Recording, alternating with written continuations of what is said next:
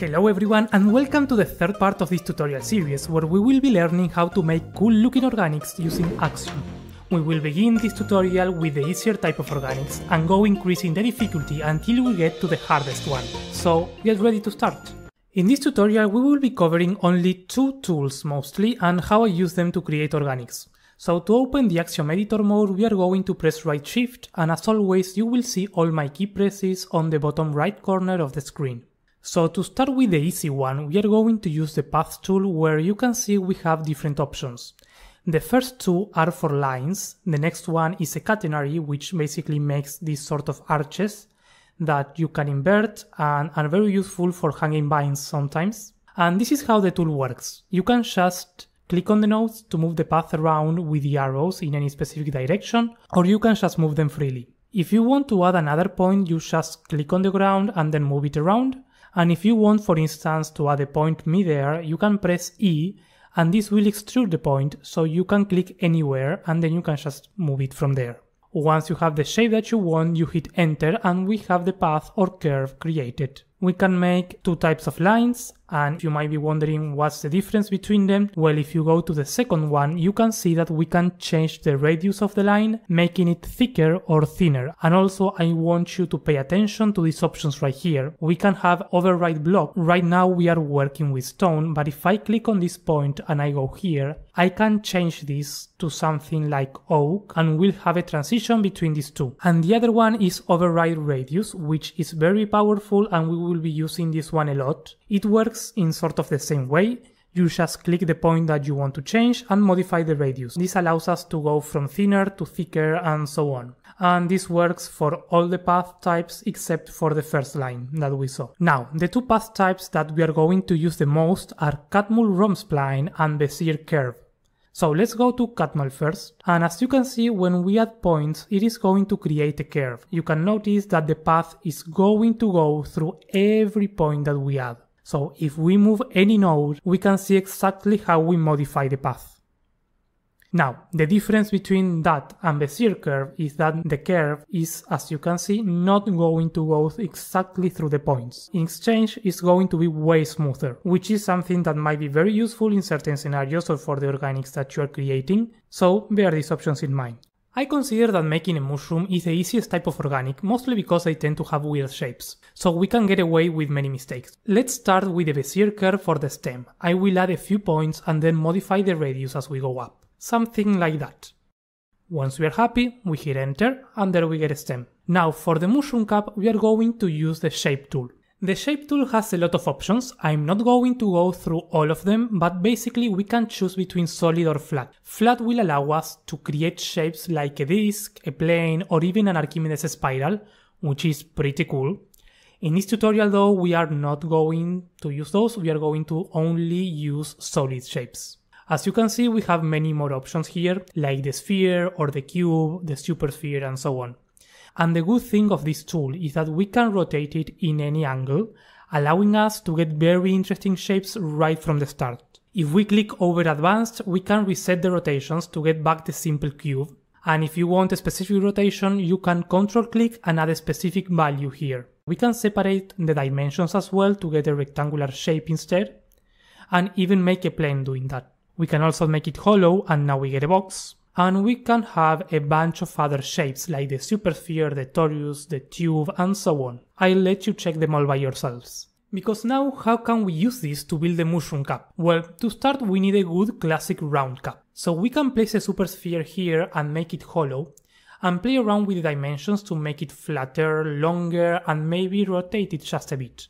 I think that's good, so we hit enter. Now we go over to magic selection and reduce the limit, which basically reduces the amount of blocks that we are going to select, and we can go with right click and select the top part of the shape to make that mushroom cap.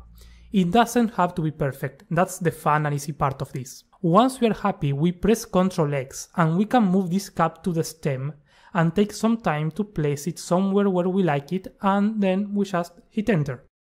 So there we go very easily we can get a very good looking mushroom already. But let's complicate it a bit and try to make a more interesting pointy shape.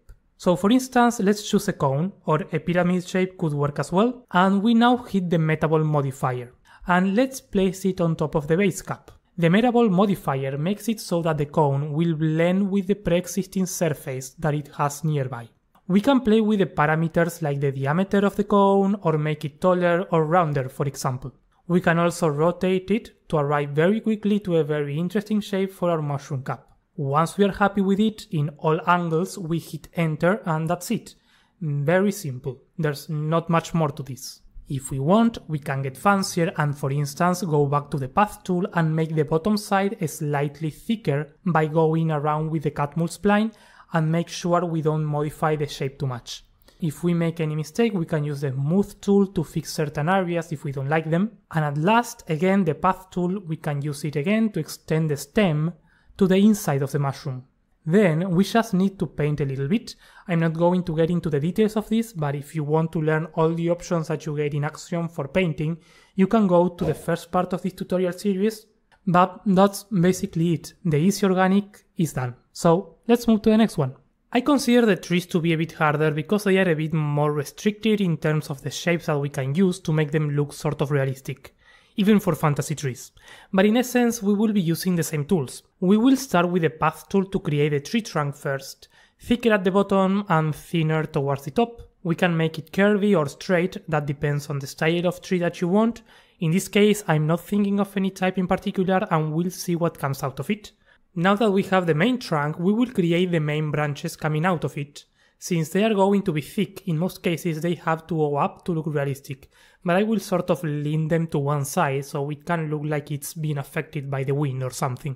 Depending on the tree size that you're going for, I divide this in different layers for the branches, not more than 3 in general. We have the tree trunk being the thicker one, then a second layer of thick branches, with them marking the general shape, and then a final third layer of smaller branches coming out of them to give some extra detail. Getting this shape right is the most important for the trees. If the trunk and branches don't look right, then it's quite hard to make it look good with the leaves. So take your time and make sure that you are happy with the shape before moving to the next step. You can even help yourself with reference pictures, that's always useful, but right now I'm pretty happy with this shape. If we want, we can even add some extra smaller details by hand, for instance we can try and make this one curl down. It doesn't really go with this style of tree, but I'll keep it just for demonstration purposes. So let's now move to the following step, which is adding the leaves. Okay, so for the leaves we have many options and they will all yield different results. To start, I'm going to show you the classical approach, which is to do it with World Edit. Axiom is compatible with World Edit, so you can have both like I do right now, and we can go ahead and grab a few food items to use as brushes.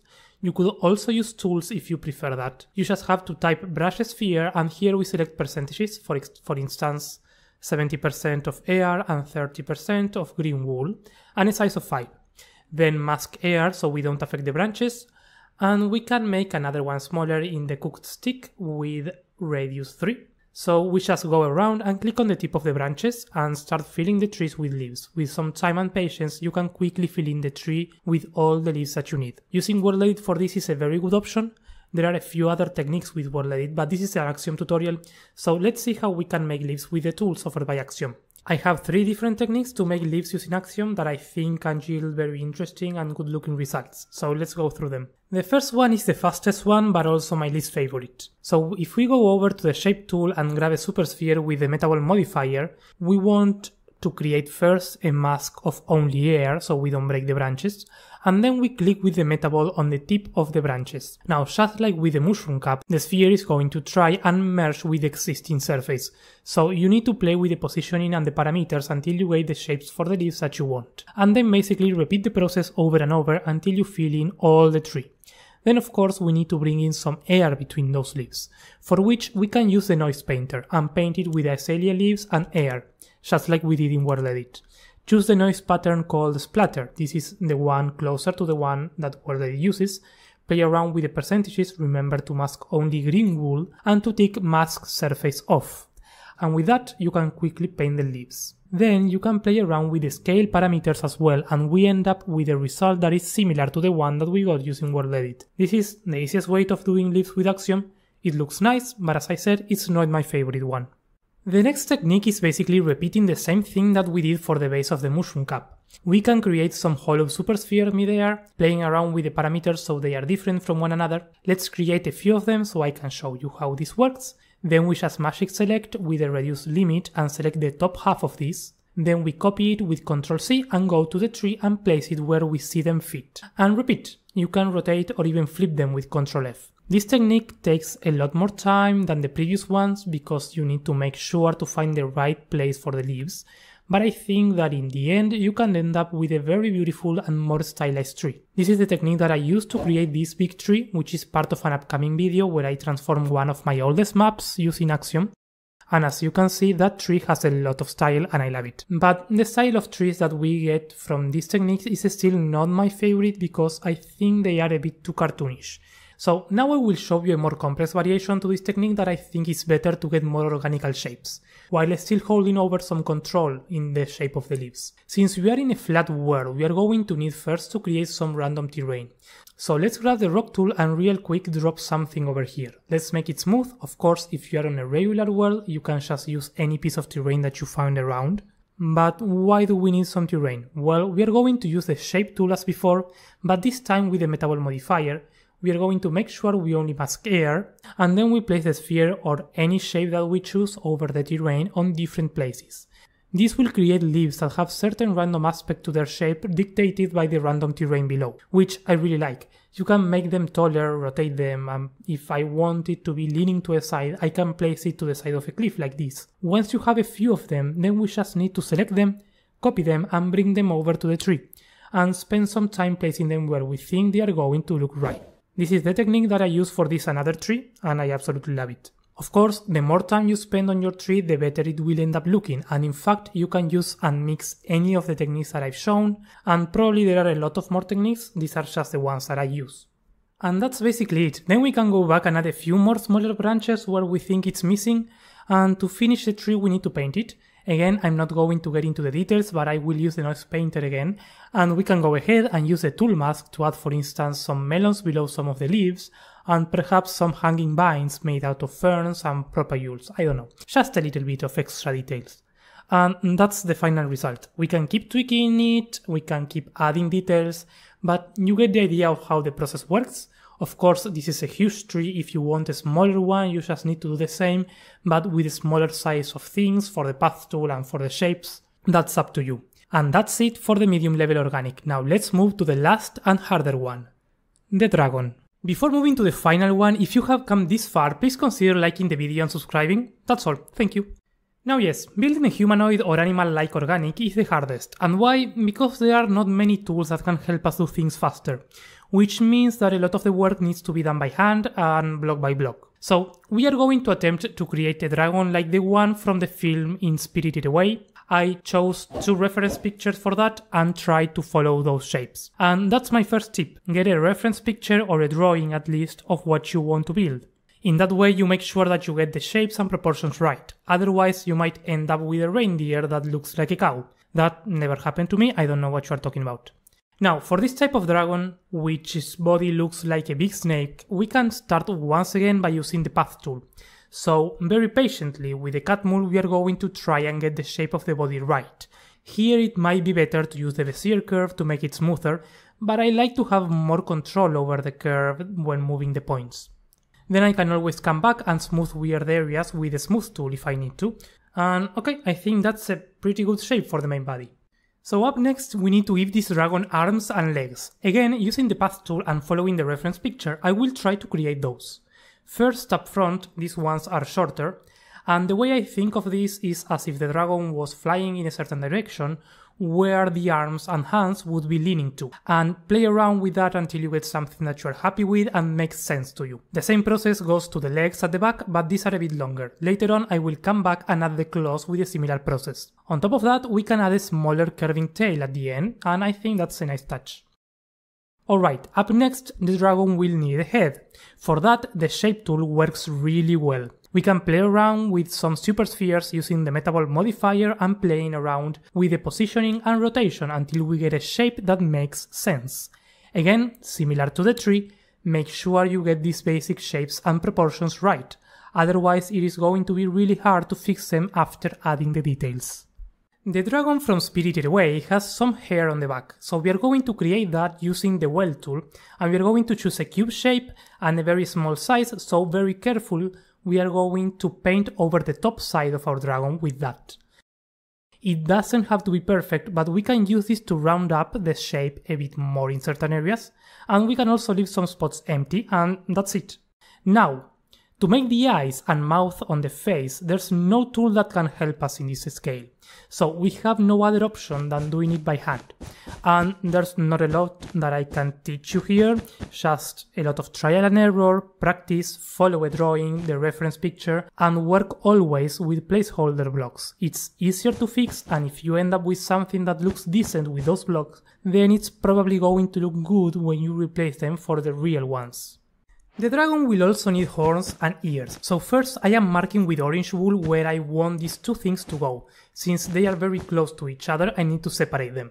So on the back of the line I will start symmetrically from one another the horns, for which I use the path tool with the DDA line, and again make sure it fits the orientation of the dragon and the head. With both horns in place, I can now go ahead and build the ears by hand.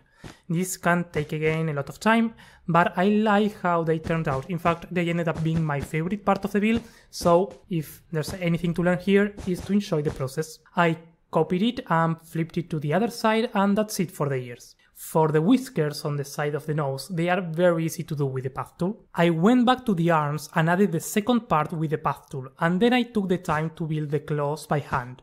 I really struggled with this part, but I think it ended up looking quite decent. One last trick that I can show you here is how to create maybe tiny pieces of hair on top of the hair that we had already created. For that, we can build those pieces somewhere else, like here for instance, then copy it and press Ctrl P to save them in the blueprints folder. Once we have all of them, we can go to the stamp tool and go to add blueprint. There, automatically we can add all the blueprints that we want and with the tool mask, make sure to paint only on top of the light blue to add those tiny pieces of hair in certain areas. The tool will automatically rotate the blueprints to give them a certain randomness that is very good. The only thing that we are missing is to paint it. Again, if you don't know how the noise painter or the gradient painter works, I have to point you to my other tutorial, but here I chose simply a palette that goes from white to light blue to paint the body. I made the hair look like gold using some coral blocks, and for the whiskers I used ochre froglight to make sure they shined in the dark. I also used some light blocks to make the hair bright in the night, and that's it, that's the dragon completed.